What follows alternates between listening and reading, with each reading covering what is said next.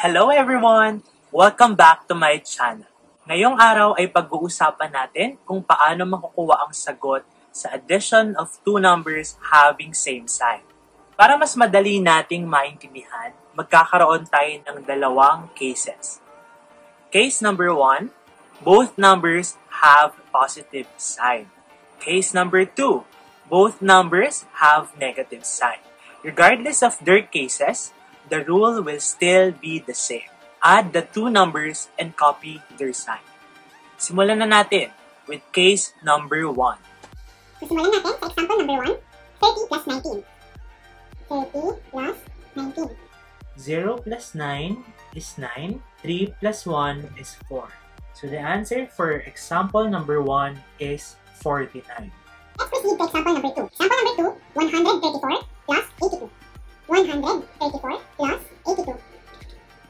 So 4 plus 2 is 6. 3 plus 8 is 11. So 1 plus 1 is 2. So when we add 134 and 82, we will get 216. Example number 3, 245 plus 532. 245 plus 532. So 5 plus 2 is 7. 4 plus 3 is also 7. And 2 plus 5 is 7. Kapag inad natin ang 245 at 532, makakakuha tayo ng sagot na 777. Dako tayo sa case number 2. Both numbers have negative sign. Let's proceed to case number 2. For this example, negative 12 plus negative 6. Negative 12 plus negative 6. So sabi sa rule, add the two numbers. So add natin muna yung 12 at yung 6. Disregard natin yung kanilang sign which is negative. 2 plus 6 is 8. 1 plus, to wala, so 0. It will become 1. And then, according to rule, copy their sign which is negative. So let's copy negative sign. The answer for this example is negative 18. Let's proceed to another example for case number 2. Negative 57 plus negative 19. Negative 57 plus negative 19. Again, according sa ating rule, add muna natin yung dalawang number. So, add muna natin ang 57 at 19. So 7 plus 9 is 16. So 1 plus 5 plus 1 is 7. Pagkatapos natin i-add ang dalawang number, proceed na tayo sa susunod na step which is copy their sign. Since ang dalawang number ay mayroong negative sign, sabi, copyahin ng sign, so let's copy negative sign.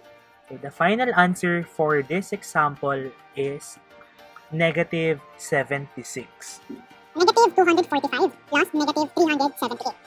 Negative 245 plus negative 378.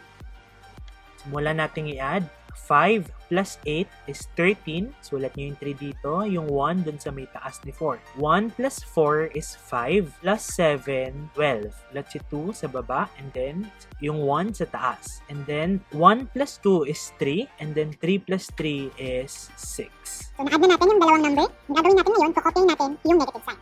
Ang sagot natin sa example number 6 ay negative 623. Madali lang, di ba? Subukan nyo namang sumagot. Subukan nyo ang mga tanong na ito. So, letter A, 147 plus 253. Letter B, negative 23 plus negative 321. Please comment below your answer para malaman natin kung ito ay tama. If you like this video, please don't forget to like. Please don't forget. Please like, like. If you like this video, don't forget to hit the like button and subscribe to my channel. That's all for now. Thank you for watching.